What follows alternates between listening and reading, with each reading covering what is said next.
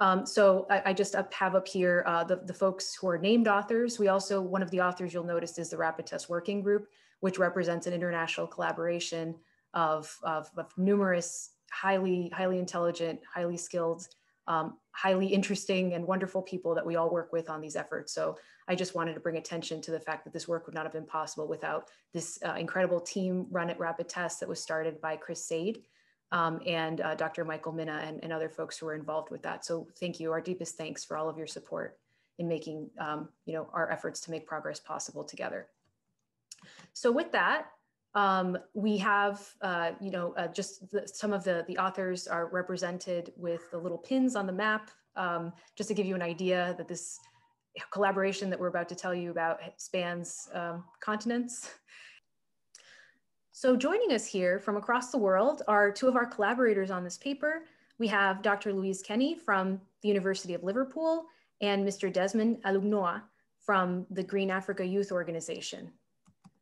Hi, Sherry, and hi all, and thank you so much for the very kind invitation to join today. Um, so hello from England um, and from Liverpool, where we have been conducting, I think, what is now uh, one of the largest uh, cohort studies of rapid antigen testing um, that we've seen during this pandemic. We've now tested over 600,000 residents uh, in our city with rapid antigen tests, um, and it's been an incredibly useful public health intervention uh, in the fight against COVID 19. And I'd just like to share three very quick thoughts um, about what we've learned through this exercise.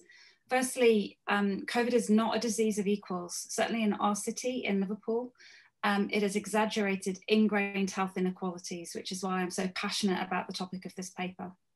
Um, secondly, I think the phrase global village has never been uh, more true. Um, we are absolutely all this, all in this together. And thirdly, uh, no one will be safe until we're all safe. So it's an absolute pleasure to be part of this global effort and to make antigen, rapid antigen testing free and available to all. Thanks, Sherry. Thank you, Dr. Kenny.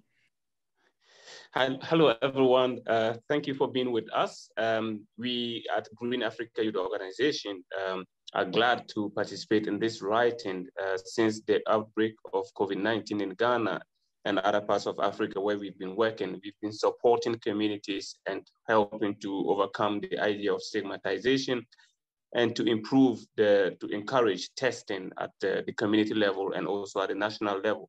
We've been leveraging on the power of young academicians to broker knowledge at the community levels to, to support in eliminating COVID-19. And we stand uh, with all the points that have been raised in this paper. And uh, we hope that together we will be able to, to clamp down the pandemic in, uh, in no time. Thank you. Thank you so much, Mr. Alugnoa. So with that, um, we wanted to present uh, our paper. And so the four of us who are going to be presenting uh, are uh, Mo Johnson, Leon, uh, Maureen, uh, who goes by Mo, uh, from Texas. I am based in Boston right now, and originally I'm from Florida.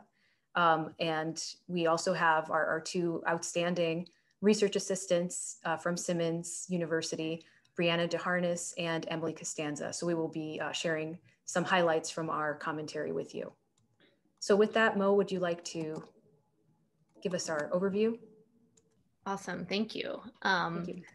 Hi everyone, I'm I go by Mo, um, and uh, as Sherry mentioned, I'm a researcher right now at the University of Texas Austin, focusing on uh, data equity work. Um, I just want to reemphasize that something that has been brought up throughout the presentation is that this was a highly uh, collaborative work. Um, we've heard from many of the people that participated. So when we talk about kind of the four main points in uh, this paper, which I think will appear on the screen shortly, um, that's really four main points that came from an executive summary that we, we that will be published next week. That came from uh, a multi-page supplementary documents with a lot of uh, resources and um, case studies and really, I want to also highlight all the collaborators came from a breadth of having field experience and research experience, being um, nurses at schools or researchers at universities, um, people with a variety of backgrounds. And I think this is just really important because the other things that we're all living through this pandemic as well. So what we're talking about are also kind of strategies that we wish to deploy within our own communities and families. So the main four points uh, with hopefully they give a little bit of hope, a little bit of imagination of what could be possible once we might have more access to rapid antigen testing, is that this frequent rapid testing uniquely complements all the other infection prevention, mitigation strategies that we've been doing the entire pandemic. It's an additional tool also through modeling work and then other analysis, comparing these widespread rapid antigen testing to targeted and frequent molecular testing is a false equivalency that leads to harm. Um, you really um, want to have as much frequent testing as possible, and just comparing them one for one um, really doesn't make sense as a testing strategy in pandemic response work. Also, universal access to these uh, low cost, free, fast, rapid tests is critical to have follow up and support in order to promote equity and reduce harm. At the end, we'll talk a lot from other, uh, throughout the entire kind of uh, public health field. Self-testing has been shown to be effective for other diseases. And so we're also advocating for that here. And each of us will, will talk a little bit more about each point. Thank you, Mo. Great, so um, this should look familiar for this first point, which is basically the Swiss cheese model. And um, the idea is that any individual intervention on its own is not perfect. And uh, we need all of the interventions together to be able to protect people, especially on a population level. And um, if you note here at the bottom, we have um, a little mouse that just happened to be in the original illustration that illustrates how important, and the mouse agrees, uh, testing is and, uh, and tracing. And so that's that's basically what we're trying to say here. That when we have rapid tests, it really helps us uh, build up that capacity that's really important in this model to protect people. So uh, for our second point here, uh, Dr. Mina, I'm not sure if you wanted to, to say something as well. Sure. I'll, I'll just uh, describe briefly. So um, there's been a lot of confusion about the different types of tests. For example, PCR tests, which are very, very high analytical sensitivity but uh, anyone who's gotten a PCR test uh, out in the sort of regular world outside of the, the wealthy academic institutions uh, has potentially seen that these tests sometimes take multiple days to return and, and simply aren't used, uh, they can't be used daily for the most part. Uh, nor even you know, two or three times a week would be a very huge burden to place on PCR testing. So, um, but when we look at the infection dynamics or the kinetics of the virus within a person, it turns out uh, that uh, the analytical sensitivity of the test, as I mentioned earlier, is not nearly as important as the frequency with which you can test people. And so this is just a, a diagram. This comes from a, a, paper we published recently in the New England Journal of Medicine, uh, which discusses uh, the frequency issue and, and frequency versus sensitivity. And so what this is showing is the viral kinetics within an individual uh, and uh, essentially it shows that if you're testing frequently with a lower analytical sensitivity test, but the, the very, by, by the nature of testing frequently, you're more likely, not less, to catch people when they are infectious. And that's because it's all about the frequency. Now, what, what I'm showing on the y-axis here is the viral load inside of a person after they get infected. Uh, once people become infected, no test will detect them for the first few days during this incubation period when the virus is at very, very low levels. But then PCR will start. If you had, if you were able to be testing somebody, you know, every moment of the day, you'd find that um, PCR will will turn positive in a person, and then within about 15 hours, a rapid antigen test, a lower sensitivity test, will also turn positive. And in fact, we just finished a, a large clinical study that, that is showing this, and we'll be trying to get that published soon. Uh, but essentially, the window between which the high sensitivity and the low sensitivity test is very, very narrow. And so, what this is really showing is it's almost never worth uh, reducing frequency in order to gain that improvement in terms of high analytical sensitivity. That's never the appropriate trade off when you're trying to have a public health test. It's frequency above all else will allow you to find somebody when they're infectious. And then the infectious window is only about five days. So if you're not giving somebody a, re a result very quickly, uh, then it's not a, an effective test. If, it, if you have to wait three days to get your result, then even if you found somebody on day one of their infec infection, um, you would be missing almost their whole transmissible window. And so while we continue to make assessments of these different tests based on their analytical sensitivity, what we really should be focusing on is the effectiveness of the test to help abrogate transmission.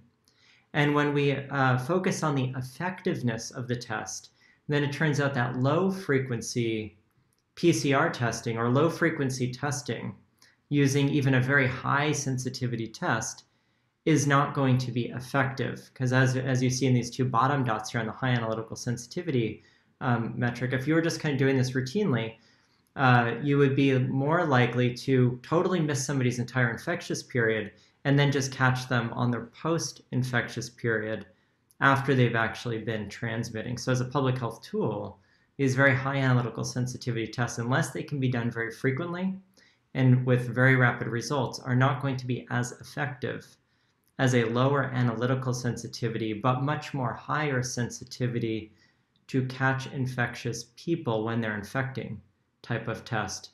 And that's all based on the frequency.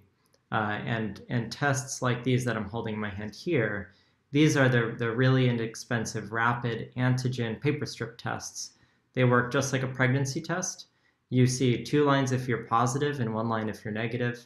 If these turn positive, it generally means you are infectious. And these tests have also been very, very high specificity, which has been another concern. Uh, out of thousands that we have now used, we still have yet to find one false positive. It's been 100% specificity over 5,000. And this actually fits with multiple uh, studies that have happened across the world. So, so while we continue to evaluate tests based, uh, these antigen tests based uh, against the PCR, uh, based on their analytical sensitivity alone. We really need to take the test program into account in order to best evaluate how appropriate one test is versus another for public health use. Now, this is an example that I like to show. Uh, if you have a school-based entrance screening program, for example, and you're trying to keep a school safe, uh, if you open up school, and on the first day of school, as an example, you have uh, five students who walk into school who are infected or who show up at school on day one who are infectious. A PCR test, you could have a 100% sensitive PCR test, but it takes two days to return results. If you use that PCR test on day one, those five students will walk around for the next two days infectious until they get their PCR results back, and then they'll be pulled out of, out of circulation. So it's 100% sensitive, but you have 10 person days walking around infecting others. So that might lead, for example, to eight, you know, eight or so additional people infected, and upwards of 20 or 25 people who have to go into two-week quarantine. On the other hand, if you uh, look on the bottom uh, of this figure, you have a rapid antigen testing program. You have the same five kids walk into school, but the test is only, say, 80% sensitive. Now, we know that these tests actually achieve much greater than that when people are infectious, but we'll be conservative. If those five students are uh, tested with the antigen test, along with everyone else going into school the first day, the lower sensitivity antigen test will catch four of those five. One of them will slip by because it's 20% of the individuals. So one person will slip by, they will walk around school. Ideally, they are low transmission that first day, which is why they were negative on the rapid test. They weren't quite at the at the level needed to detect yet. But then maybe the second day they'll infect one or two people. But overall, this means that with the 80% rapid antigen test, because you were able to pull those first four out on day one, uh, you had only two person days of somebody walking around infectious versus 10. What does this mean? At the end of the end result of this means that despite using a less sensitive test, uh, the, because it gave fast results and immediately actionable results, you might end up with one or two individuals infected versus an additional eight. And you might end up with around five individuals having to get quarantined versus 20 or 25. So overall, what we see here is that the lower sensitivity test, because it's two person days versus 10 person days infectious walking around school, is the better public health test, even if it might not be the better medical diagnostic test for somebody. And so this is just a, a, a toy example to demonstrate, and actually we now have real world examples of where this exact scenario has played out. Fantastic. Thank you, Dr. Mina. So for our third point, um, we're going to turn it over to Mo and Brianna to talk about universal access to free, frequent rapid testing and why this is crucial for promoting equity and why it's so important to have follow-up and support as part of it. So it's not enough to just give people these tests or use these tests. You really need to have the other piece where you're supporting people after they receive the results. So um, Mo, please go ahead. Yeah, so this third point is really focused on this kind of idea of accessibility, free, low cost, um, with ability to be able to follow up. Um, I'm speaking on this point a little bit both as a researcher who focuses on uh, both rural populations and populations that have been made vulnerable through a variety of factors. Um, it's really been, you know, very well documented that the ability to protect yourself in this pandemic has really functioned on a gradient of economic elitism, um, and that there have been incredible racial and ethnic disparities um, in the US, and then also um, many disparities abroad too. Um, so the test to be accessible um, universally, there have to be kind of support and follow up that has to be a, a, low enough price for different communities to buy it. It has to be geographically available, whether you live in an urban or rural area. Location matters. Can you go to a community center? Can you go to a, a hospital? Can you do it at home? Um, the ability to have agency is really important here, particularly with having to reach and support some of the communities that have been hardest hit. Um, on a personal level, I know people that are essential workers, uh, non-medical essential workers, that this entire pandemic haven't even had access to one type of test. And so they're going into work often blind despite doing their best to, to mask and social distance. Um, the other reason, though, that testing can sometimes be a difficult decision for a worker to make. Um, if that a positive might indicate that they have to go home without support, without pay, that can be economically devastating for a whole host of people. Um, so when we talk about access to uh, frequent uh, and low cost rapid test, that piece, uh, that equity piece of providing support, of understanding the different needs of different populations, of really reaching out is a, a key part of this.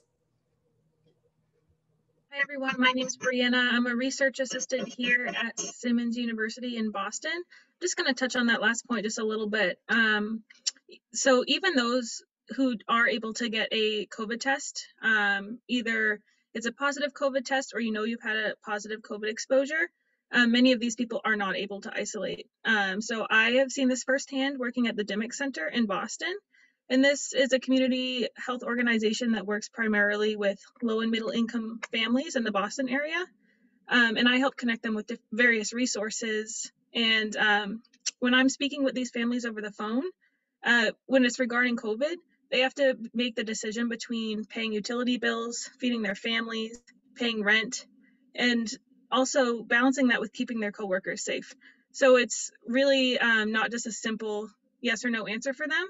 And so what we need to do is uh, support them in their self-isolation, providing resources for those in low and middle income communities to do what is best for the health of them, their families, and their coworkers. Thank you, Brianna. And Mo. So we, we wanted to just also say briefly here a few words on why we chose our title of It's Wrong Not to Test. Because at first glance, this might seem like a very negative statement to make, and maybe there's a positive way to frame it. And I promise we did think about this, but we were very deliberate with our choice. And so uh, the, our motivation for, uh, for using this title, and this is the premise of our work, this is a quote from our commentary, is that in the midst of a raging plague, it is inequitable and unethical not to deploy high quality rapid tests alongside existing public health interventions. And this is really our guiding uh, thought that, that, uh, that led us to uh, all the arguments and evidence that we pulled together for this commentary. So um, you might think that a statement like it's right always to test uh, might be equivalent to saying something like it's right to test. And actually, these two statements are, are not actually the same thing. So the one on the right, it's right to test, it's basically what the World Health Organization has been telling us since last year, test, test, test. And I think, you know, leading experts, a lot of people are on board with the idea that we need to test and there have been calls for this and there have been a lot of efforts to improve our testing infrastructure to meet demand. Um, it's a slightly different statement from it's always right to test, which actually um, is, is a little bit problematic in the sense that when we're talking about tests, we're really talking about people. And we really need to remember that at the end of the day, people have autonomy. They should be able to make choices about what's done with and about their bodies and their health. And so that is why we came to the conclusion that what we're really trying to say is that it's wrong not to test because the big problem right now is there are a lot of people in the world who don't have access to testing either because they're sort of um, cut out of, of existing testing infrastructure. They can't afford it, they can't access it. There are also very sad situations right now in the US and other places where people have free tests from the federal government, but they're sitting in a closet or something because people are afraid to use them because they don't know how to use them or they're misinformed about what their utility might be. And so that is why we felt compelled to make the statements that we want to make or that we've made in this commentary because we felt like it was something that wasn't being said as loudly as it should be right now. And so um, that actually is a great segue into our last point that's going to be presented by uh, Emily Costanza, who's uh, one of our research assistants at Simmons, along with Brianna. Thank you, Emily. Um, our fourth point is self-testing is effective, and I just want to highlight a couple points of that. Uh, self-testing is already used very successfully in many areas of our lives already, from at home pregnancy tests to HIV self tests. And these tests empower us to take action sooner rather than later. HIV self testing, in particular, has shown to be one of the best ways to reach high risk groups, obtain comparable results to that of healthcare workers, and has pro- been projected to increase testing overall while increasing health gains. In addition, there is evidence from usability studies that show that self testing at home would provide similar advantages. Self testing would be an enormously valuable tool in the fight to prevent the spread of COVID 19, give us a chance for more immediate care, um, and protect others from getting COVID 19. Thank you, Emily. And this, this video is a screenshot from the National Health Service in the UK, where they have um, a, a, a little video to help people with self-administered testing. So thank you very much, Emily. Thank you, everyone.